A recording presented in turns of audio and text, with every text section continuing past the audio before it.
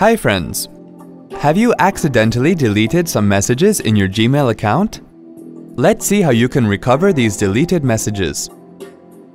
Open Internet Explorer.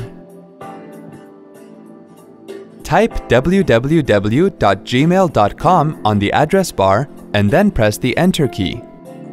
Sign in to your Gmail account.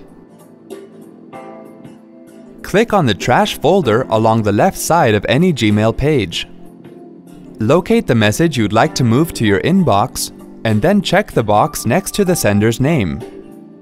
Click on the Move To icon and then select Inbox from the menu that appears. Wasn't that quick and easy? Thanks for watching.